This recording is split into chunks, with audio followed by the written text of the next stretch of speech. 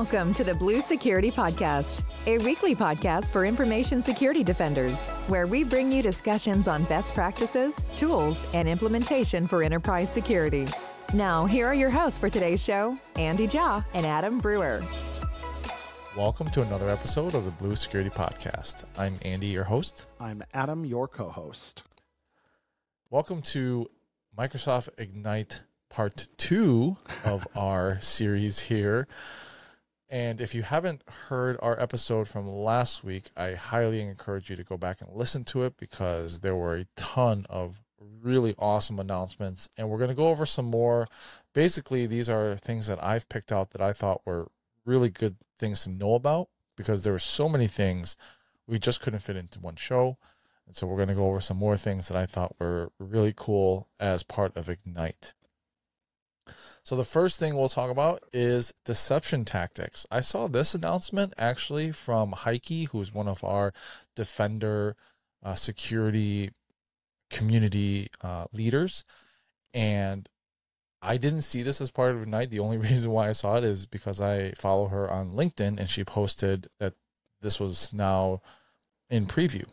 You are now able to augment your EDR capabilities with deception tactics that's going to be natively integrated into Defender for Endpoint. So you're going to have the ability to create artificial attack surface that will entice your adversaries to access assets that you've created for them and trigger high fidelity early stage signals when accessed. There's going to be two types of de- uh, two types of attack surfaces that you can create. Number one is decoys, which are fake assets that trigger an alert when an attacker engages, such as like a fake host or a fake user. And then the other one is lures, which are digital breadcrumbs that lead attackers to decoys and make them look more authentic, such as files or batch files and other things. So you might have like a file that's created by one of your fake hosts with those digital breadcrumbs. And any interaction with them ensures immediate detection because the high fidelity alerts are created for the SOC and correlate into ongoing incidents. So deception technology that strategically complements EDR solutions and it can be a deciding factor on how much exposure your company has during a ransomware attack. I thought this was awesome because, you know, I've always thought about getting honeypots essentially. You know, there's canaries or whatever that you can buy. And I didn't think it was well spent money just because it's like one of those things that you just put out there and who knows how much that stuff costs. But now if you're a defender for endpoint customer, this is just going to be integrated into your platform automatically and you can just have it there sitting.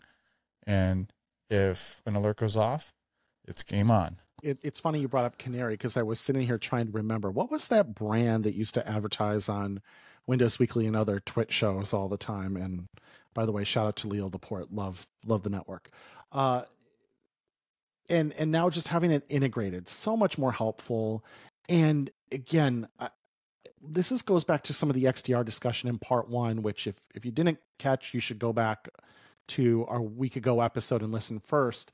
But when you have all of these high fidelity telemetry based events correlated into a single incident, and then you prioritize incidents and you're able to enrich them with alerts that come from these honeypots, these decoys, that that is really really valuable because now when an attacker gets that initial foothold in your environment and let's say for whatever reason it didn't get the interest of the SOC. You haven't looked at it yet. And they start doing reconnaissance and they ping one of these decoys. All of a sudden, that alert is going to shoot up to the very top of the list because you have an incredibly high fidelity alert that says something not right is going on because nobody should be pinging this thing internally to the environment because nobody knows about it or cares about it. The only person who would be is an attacker trying to look around. And that's just that's just awesome but it gets complemented even more when it's contextualized and in line with the rest of the broader xdr story. So very very cool. Look forward to unpacking this more. Hmm.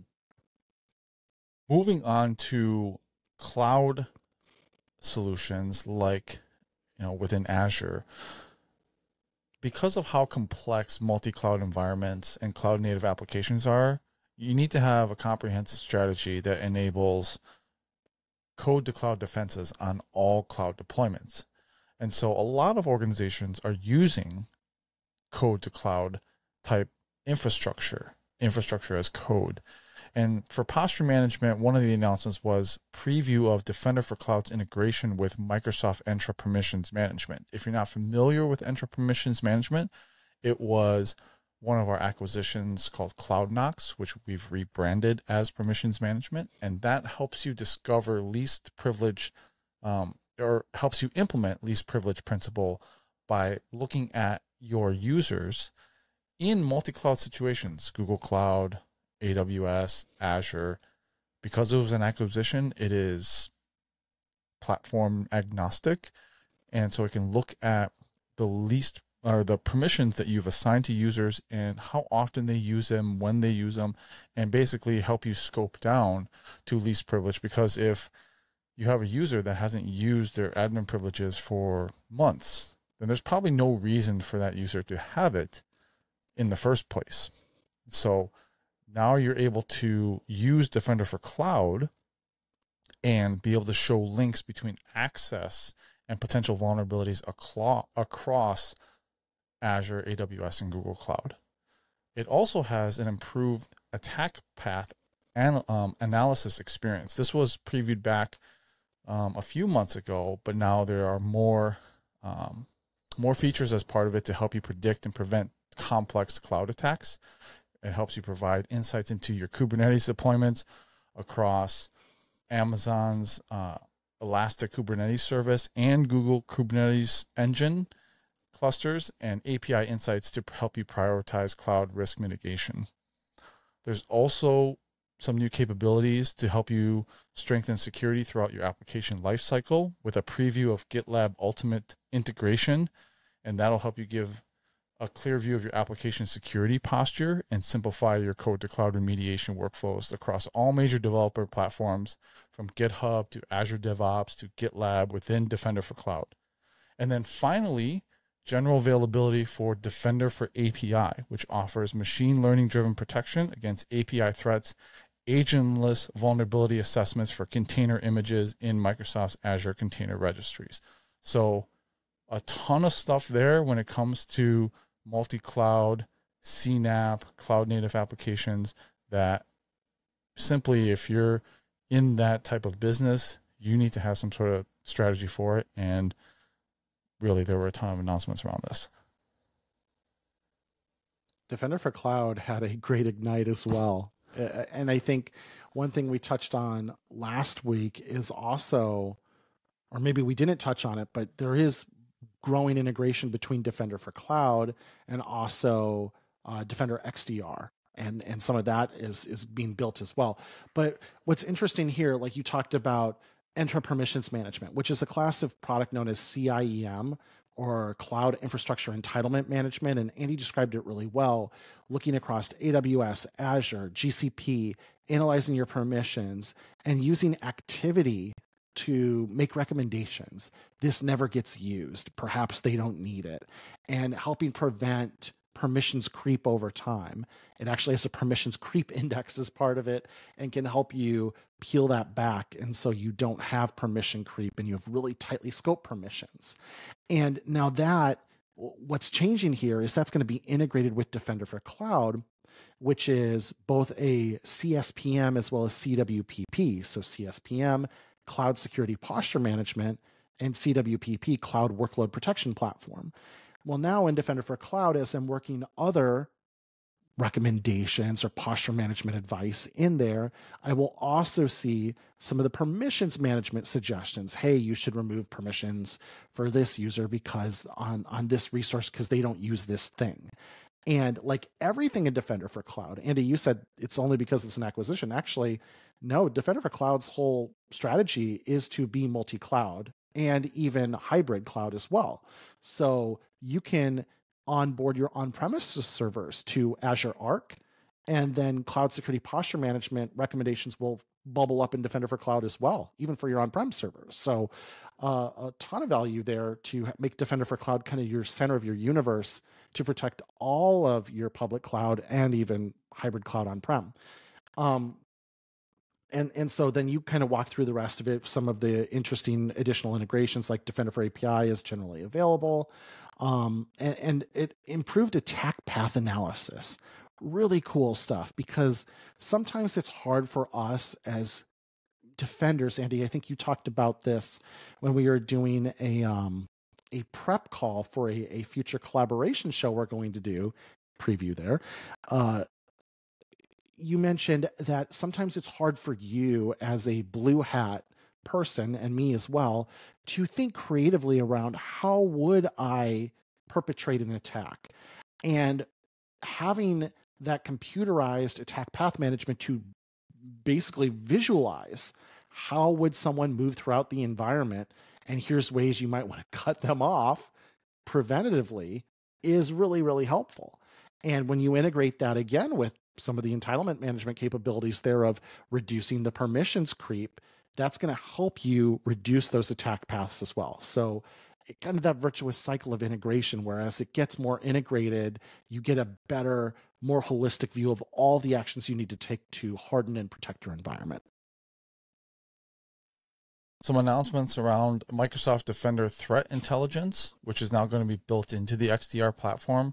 If you're not familiar with that, it was another acquisition that we have rebranded and started slowly integrating into all the products. That was a RiskIQ PassiveTotal um, acquisition a few years ago, and so now there's going to be a blade of threat intelligence within Defender XDR that has things like detonation intelligence, which enables users to look up, search, and contextualize cyber threats, as well as detonate URLs and view the results quickly to understand a malicious file or URL that is huge because I always went to different places to do that, right? Like you would open up some sort of external website to look and see if this URL is malicious or this file hash is malicious. Now you have that built in to the Defender XDR with a, a separate blade. You can also quickly submit an indicator of compromise and immediately view the results. That is huge. Think about how many times your CISO, your board, your CEO sees something in the news and they're like, is our company going to be vulnerable to this? And then you're struggling. You're like taking a look at everything, searching through logs. Maybe you have no idea where to start. Well, guess what? You can just then submit an IOC into the threat intelligence blade and ask, is our company vulnerable to this? There's also vulnerability profiles that are going to put intelligence collected from the threat intelligence team. This is just stuff about CVEs, about different threat attack groups that you can then go and check out like this group is focusing on this type of attack and these are the things that you should patch in order to prevent that and it'll have these vulnerability profiles all built in. So threat intelligence a huge part of security. It's something that i think a lot of defenders don't have time to really read about and figure out. And so now i think with all the different copilot integrations with this threat intelligence built into the xdr uh, platform you can ask it things like tell me if this ip address is malicious tell me where else this malicious file shows up things like that that will help you search at machine speed all the different vulnerabilities that you have, your attack surface, and so on and so forth. The acquisition of RiskIQ cost quite a pretty penny. And after the acquisition was completed, Microsoft sold and still sells a Microsoft Defender threat intelligence solution. And it's something you can talk to your Microsoft account team about, but there is a a definite cost associated with that. And we are taking parts of that solution and integrating them throughout the stack at no additional cost to existing users. Now, um, Microsoft is run by staunch capitalists and is a publicly traded company and is a fiduciary responsibility to our shareholders to deliver and maximize shareholder value. That all said, it is notable that this is just kind of being rolled in, uh, something that has a lot of value and customers definitely do pay money for is being rolled out to more customers at no no additional cost. And there's other ex- examples of this as well. Like we have announced that Defender Threat Intelligence will be included with the Security Copilot Early Access program.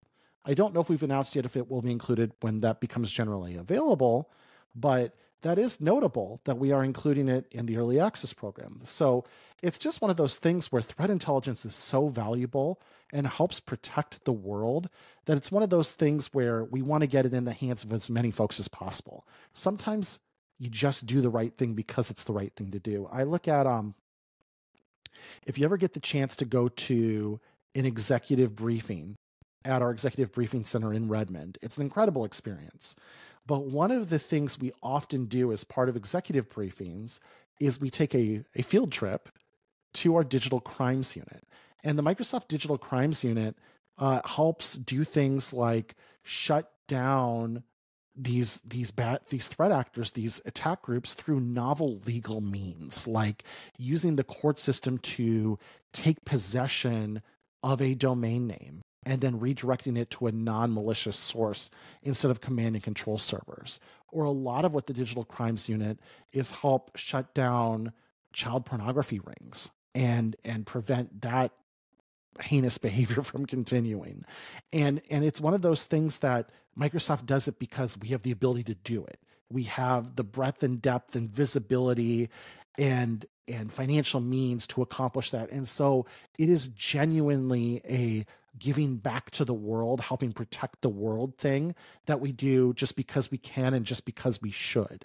And so I'm encouraged to see more of the world class threat intel, and we're making it available to more customers at no additional cost because it's going to help secure the world and secure our customers, which we all benefit from. As we say on this show all of the time, cybersecurity is a team sport.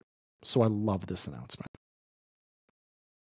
Another really, really cool announcement was extending purview data protections across structured and unstructured data. So now users will have the ability to discover, classify, and safeguard sensitive information hosted in structured databases such as Microsoft Azure SQL and Azure Data Lake Storage, and extending these capabilities into Amazon Simple Storage Service buckets or S3 buckets. I saw an example of this where there was data that was stored in Azure, it was classified under Purview Information Protection. And then when that was moved over to an Amazon S3 bucket, those data protection labels traveled with it natively. And so they, they stayed in there.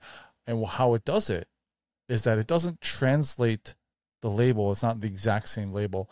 It looks at what the Amazon way, the AWS way of that classification and applies that classification to it. So the teams have worked together to basically translate what you want within Azure over to AWS with the same native protections in AWS.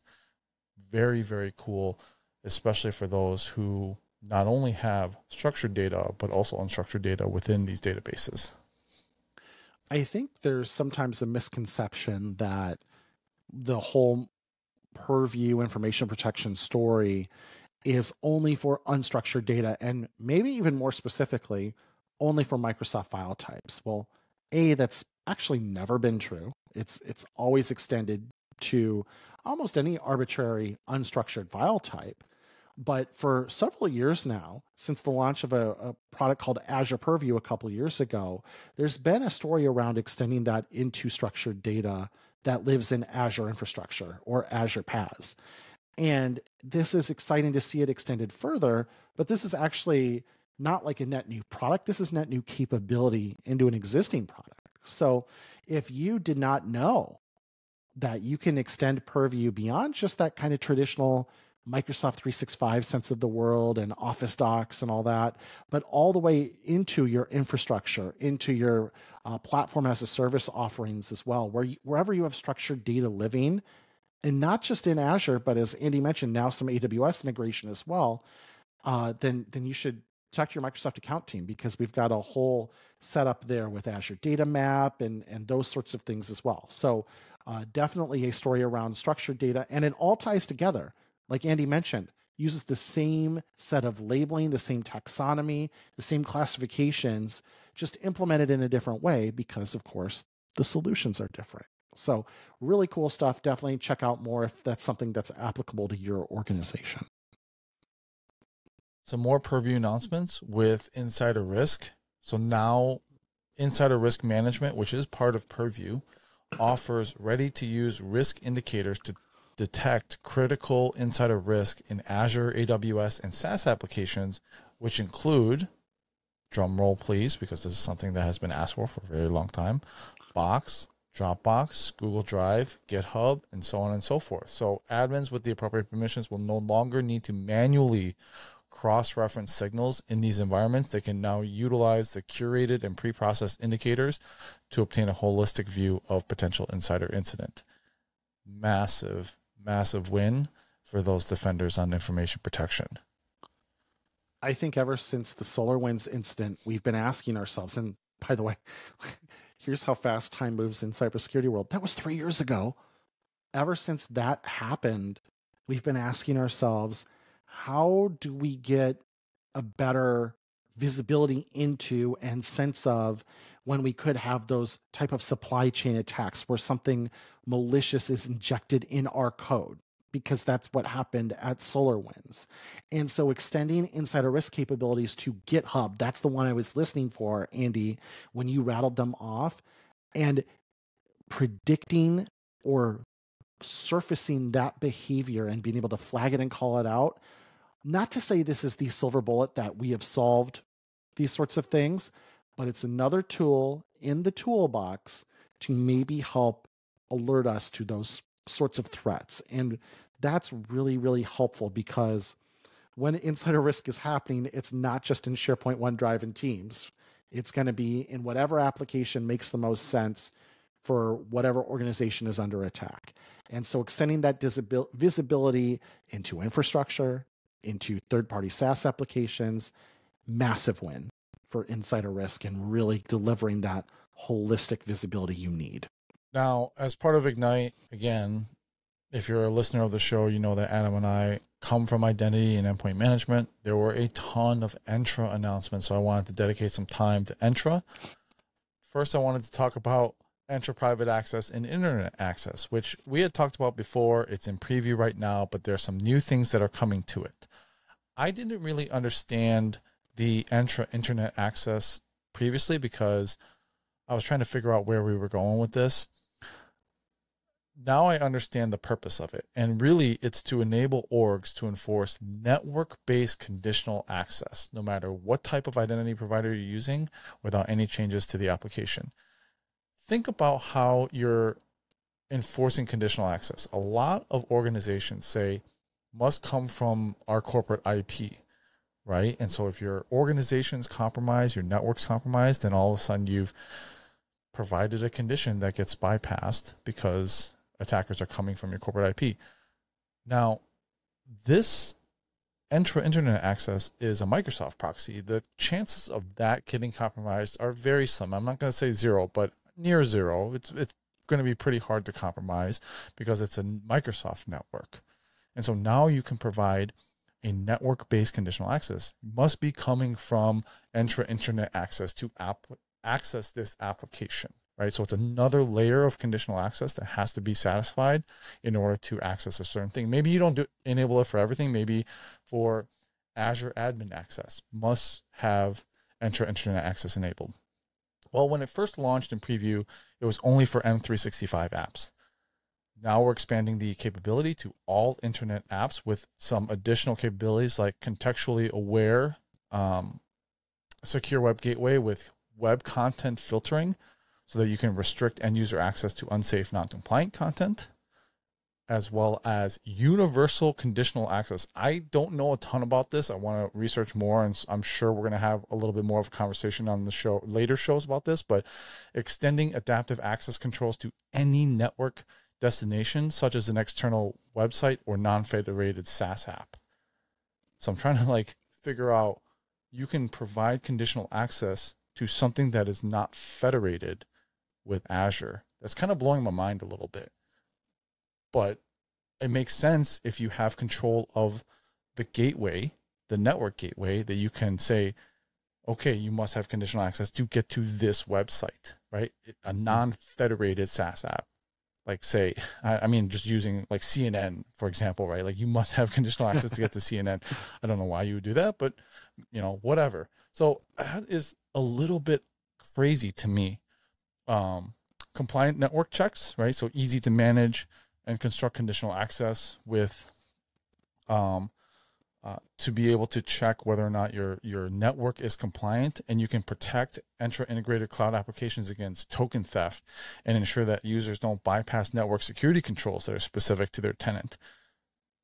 Also, source IP restoration in ID protection and conditional access location policies They'll maintain the user's original source IP to enable backward compatibility of trusted location checks and continuous access evaluation, identity risk detection, and logging.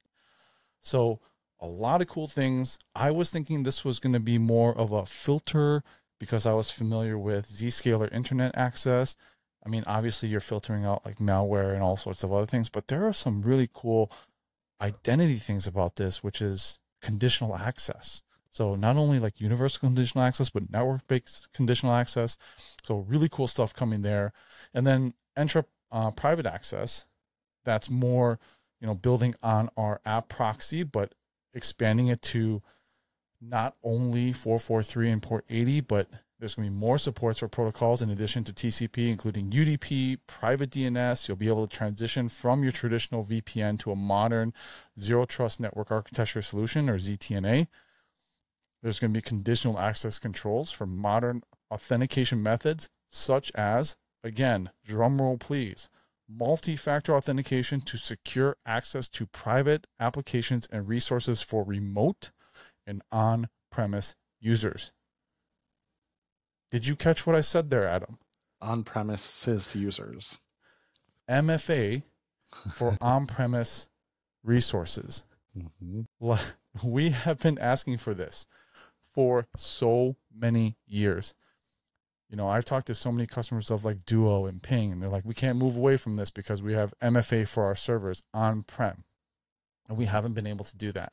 And now with EPA or Entra Private Access, we're going to be able to provide those conditional access policies with MFA to on premise resources and on premise users.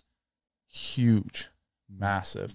And so these SSE solutions or secure security edge, whatever you want to call it, will work with existing security network solutions. In fact, we announced a partnering ecosystem that's going to work side by side with like a partner like Netskope.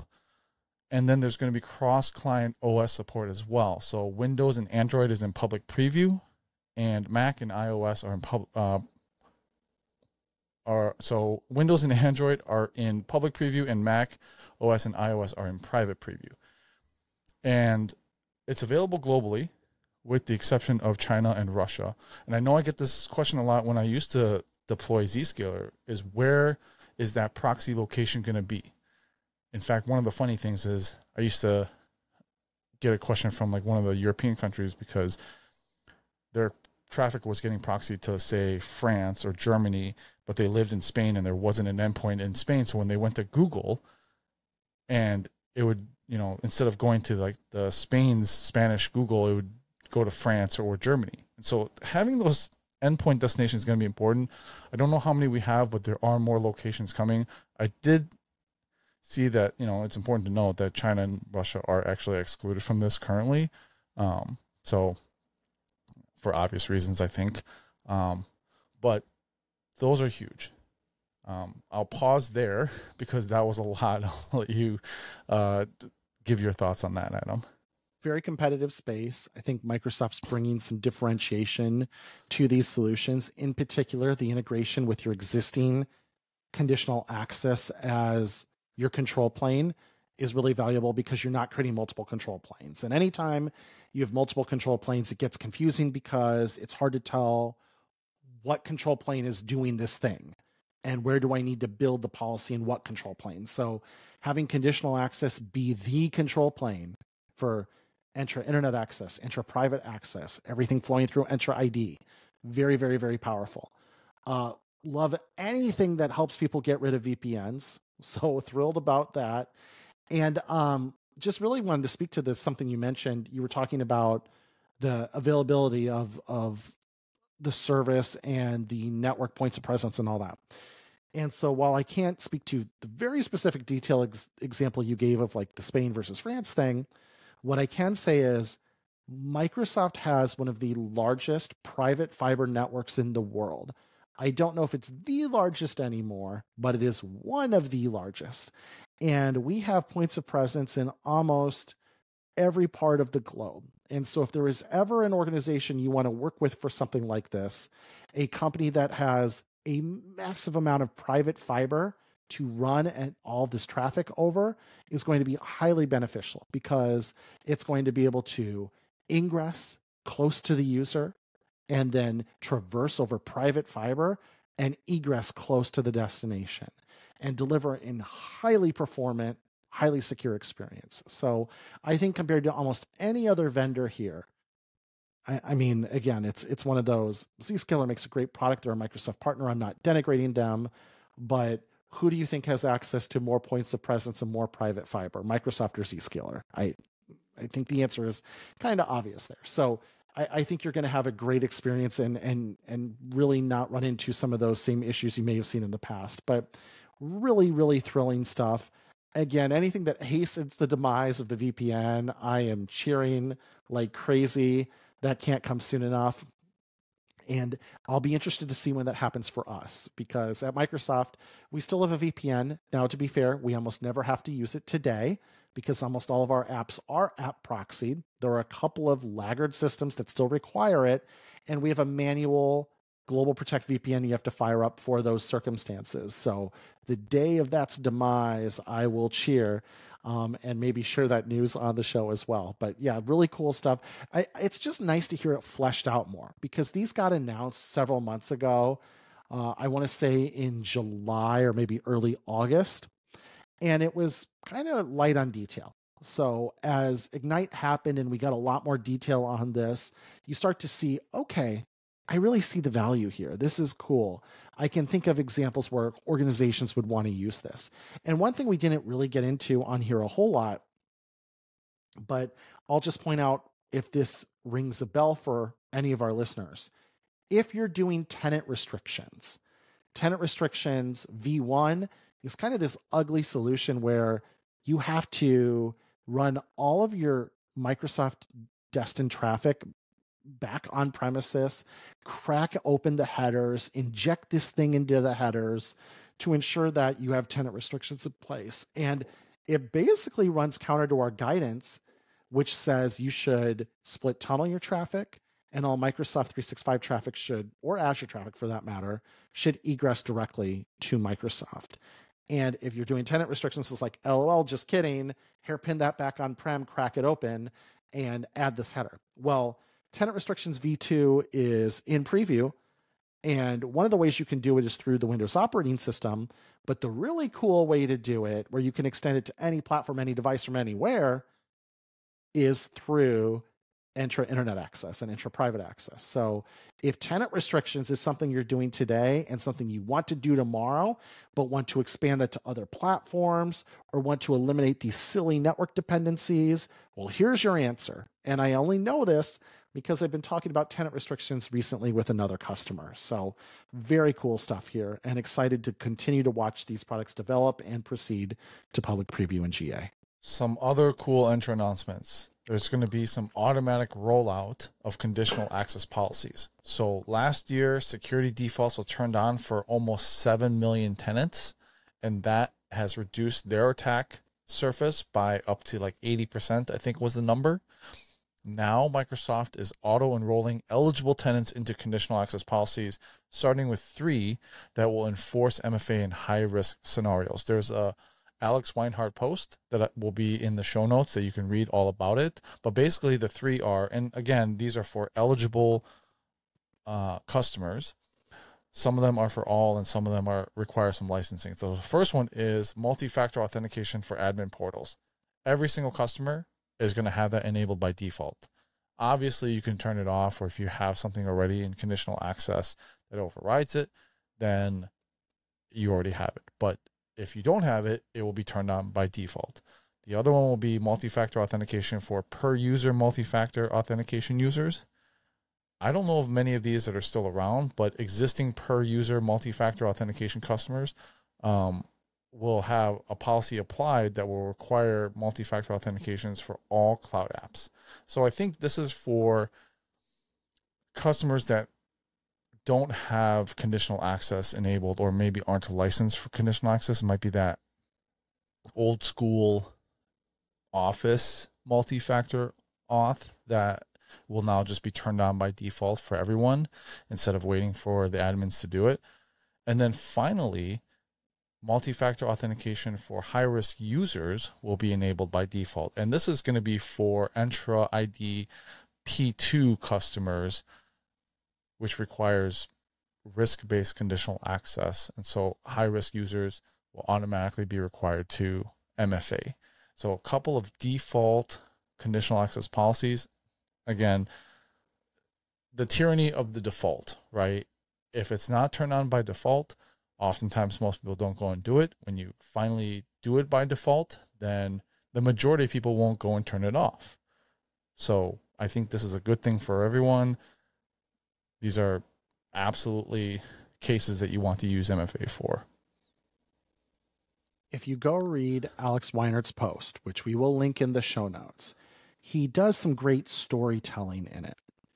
And what he does is talk about what happened with MSAs or Microsoft accounts for consumers. These are the things you use for your personal Microsoft 365 for families account or your Xbox account. And he walks through how there were objections to doing things like requiring multi factor authentication for MSAs. And then he walks through the statistics of after they enabled it, the amount of threats that dropped. And and the storytelling here is essentially that one of the challenges we constantly run into is we actually have really really really great metrics for our consumer accounts and how secure and safe they are. And I think Microsoft has been an absolute leader in that space. I talked on a previous show when we talked about passkeys, how Microsoft accounts have allowed true passwordless, where you can literally delete your password and not have one for years. And I was bemoaning how Google still made me type in a freaking password all the time, and finally rolled out passkeys recently. Uh, but but we really had a leadership position in consumer facing accounts. Is my point. And he talks about how with enterprises, how they're kind of going through a lot of these same concerns just multiple years later Whereas we added multi factor authentication to all Microsoft consumer accounts like five, six, seven years ago. A lot of admins are still going through that today because they're worried about, oh, is there too much friction? Oh, is there this? Oh, is there that? Despite the evidence that it reduces risk of compromise by 99%.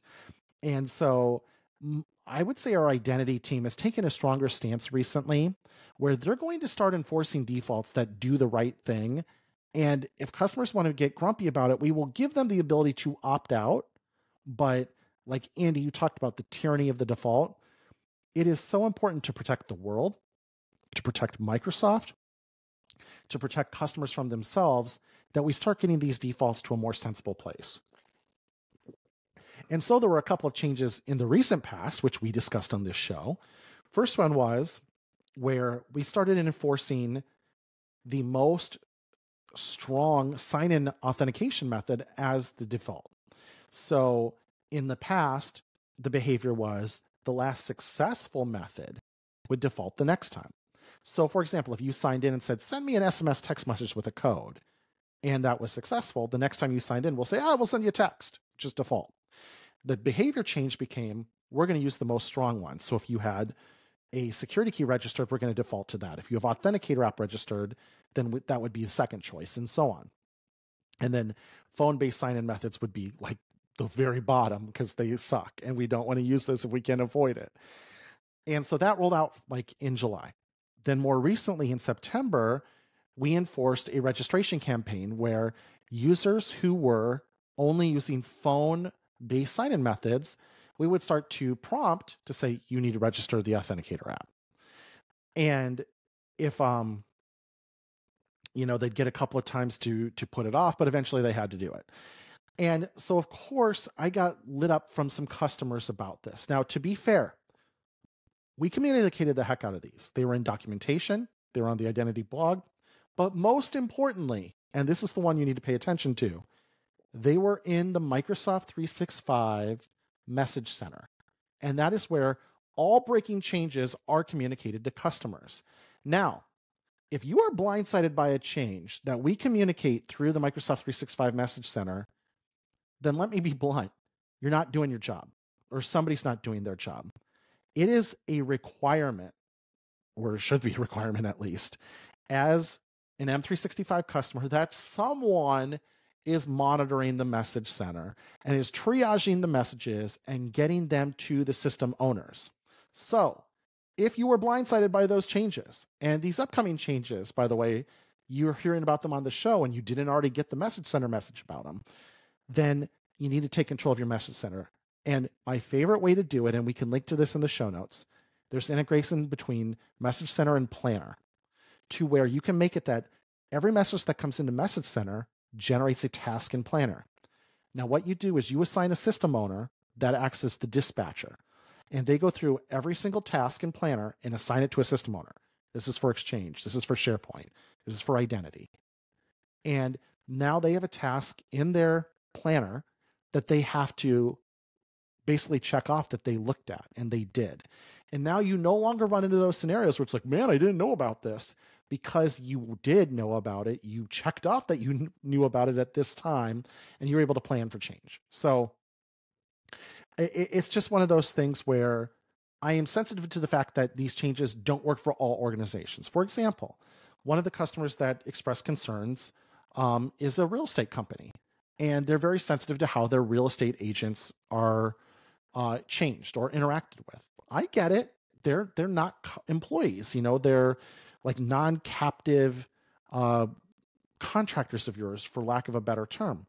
You don't want to enforce stuff like this. Okay, that's fine. You could opt out of it, but you needed to know about it, which means you need to manage Message Center. So these changes are coming. I think they're super positive and they're really common sense, and you can read more about them because I believe, Andy, if I'm not mistaken, these are initially going to be turned on in an audit mode before they even get enforced. So learn more about them. If you need to opt out of them, do that. But the real message here is we are going to take steps to secure our identity platform.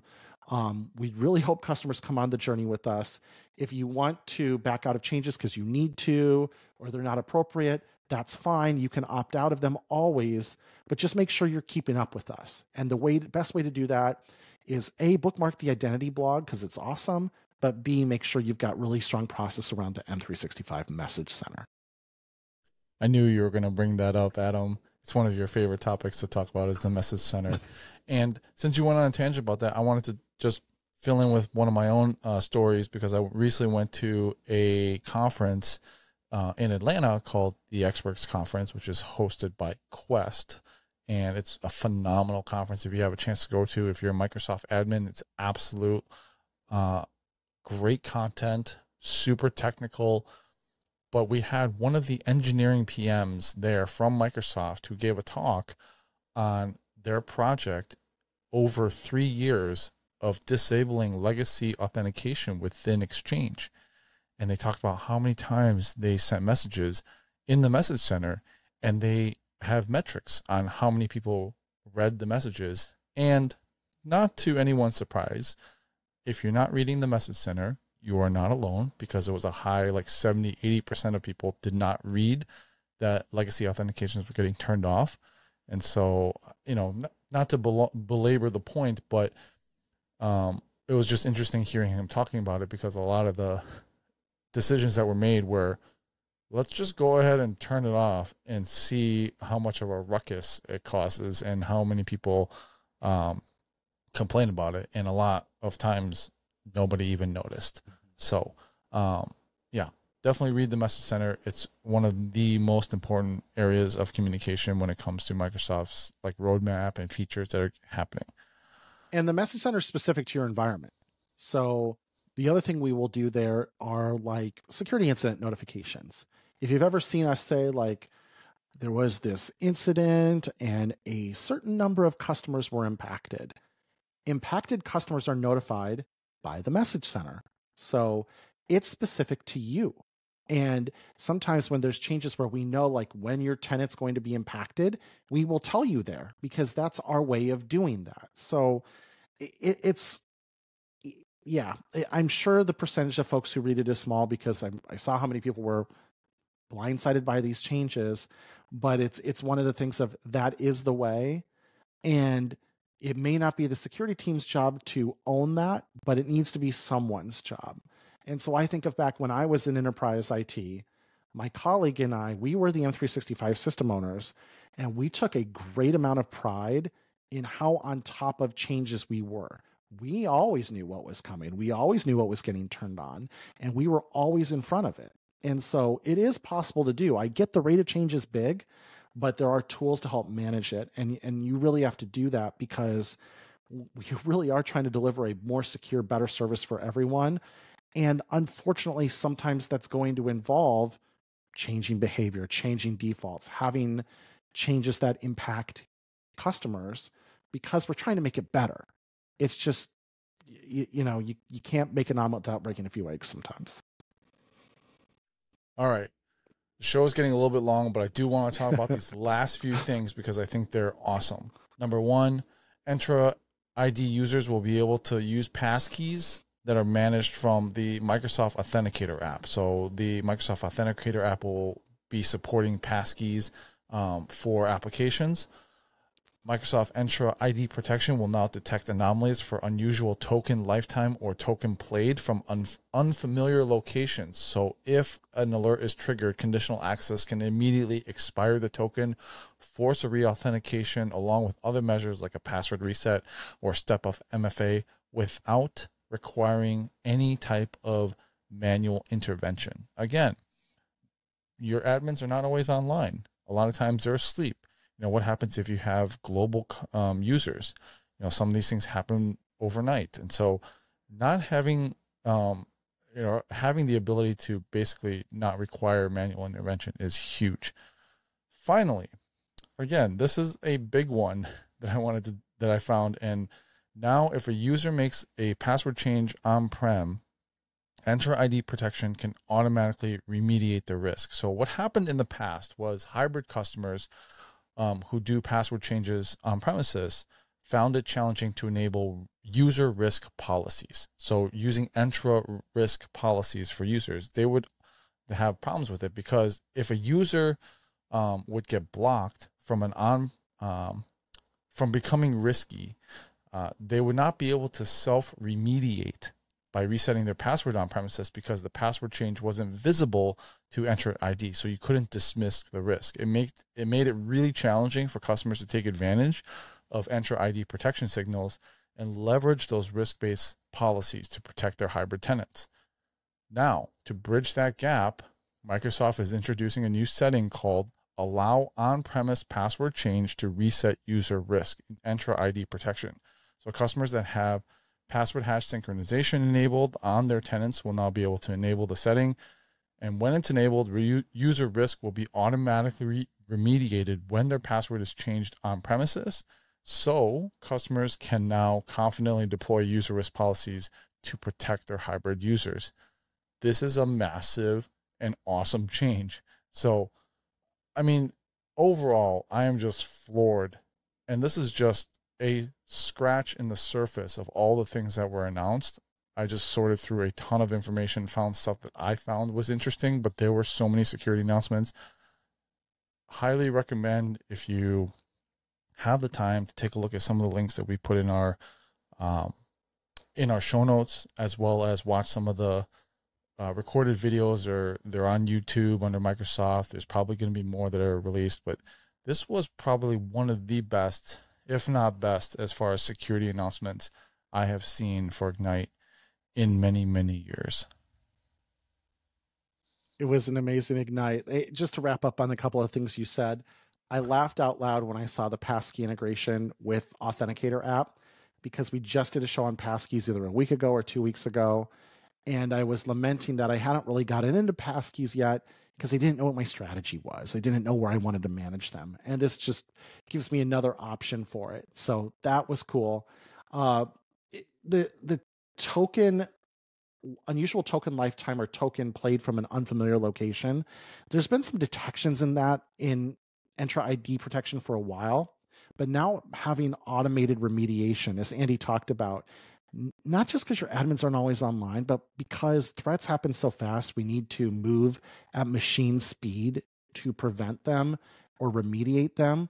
This is incredible. Where if a user does fall victim to an Evilginx style attack, now we can potentially detect that token being replayed from a weird place and just saying, eh, nope, you, you're going to have to uh, re authenticate with other measures to get back in because we saw this and this is weird.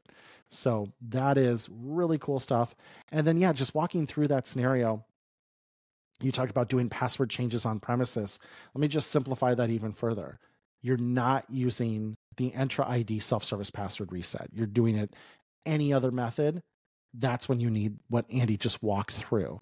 Because if you go through self service password reset, of course, Entra ID could see it and it could use that to say, oh, yeah, they've remediated it, reset their risk. If you do it through other means, it wouldn't know necessarily that that was the result of that. And that's why, by the way, this is opt in. You have to check that box to turn it on because if you are using SSPR, you may not want to enable this because that might be in a way for an attacker to essentially relax the the uh, controls against them. But if this is how you do password reset or you use another solution to do password reset, then you this is highly beneficial because you get the benefit of being able to enforce user risk controls um, without that scenario where a user could get into a degraded state and, and basically not be able to get themselves out of it with self-service remediation. So um, very, very cool stuff. Just man, like you said, Andy, I've been at Microsoft almost seven years now. Easily the biggest, most comprehensive Ignite I've ever seen in terms of announcements. I mentioned on our part one, when we talked about this, that I thought this was the culmination of consolidating Microsoft's engineering under one single leader who reports directly to the CEO. And I think you're starting to see that bear fruit. And just to give you an idea, listeners, of how much material there was, Andy picked out the highlights. And we usually like our shows to maybe be 35, 30 minutes of recorded time, which Andy edits down to be a little shorter. Both of these episodes topped the 50 minute mark, and we did two of them because there's so much to talk about. And we could easily do another couple of shows on other announcements as well. So, tons to cover. Um, tons of links in the show notes. Start to chew on this, start to dig through it. And by the way, lots of great sessions that weren't just like product announcement sessions, but actually like implementation sessions. How do I do this? How do I make this work? What does Microsoft do to protect their environment? What are best practices to implement Purview?